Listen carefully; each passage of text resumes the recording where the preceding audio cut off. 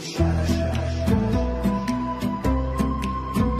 القضاء الجزائري يستدعي وزير الحكومة السابق أحمد أويحيى ووزير المالية الحالي محمد لوكال الذي كان محافظا لبنك الجزائر سابقا للتحقيق معهما حول تورطهما في قضايا فساد كثيرة ومن بينها قضية طبع الملايير من النقود أو الأوراق النقدية وأيضا تبديد المال العام ومنح امتيازات غير مشروعة لرجال الأعمال. ومن المنتظر أن يمثل المعنيان بالأمر أمام قاضي التحقيق. اليوم الأحد في محكمة سيدي محمد. إن الله يضرب الظالمين بالظالمين كما حدث للناطق الرسمي لحزب الأرندي والرجل الثاني في الحزب صديق شهاب الذي خرج بهجوم عنيف ضد يحيى منقلبا عليه واتهمه بالعمالة لفرنسا وبالخيانة العظمى. أحمد يحيى الذي كان أكبر المتسببين في معاناة وتخلف الشعب الجزائري لسنوات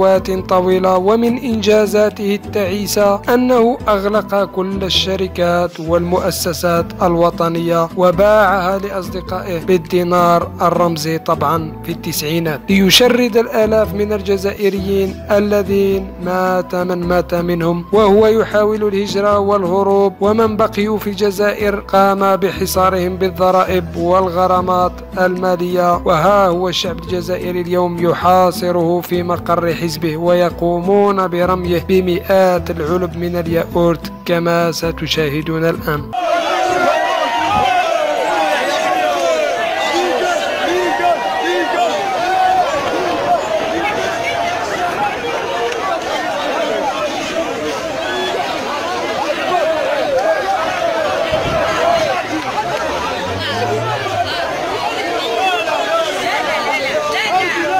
Yeah!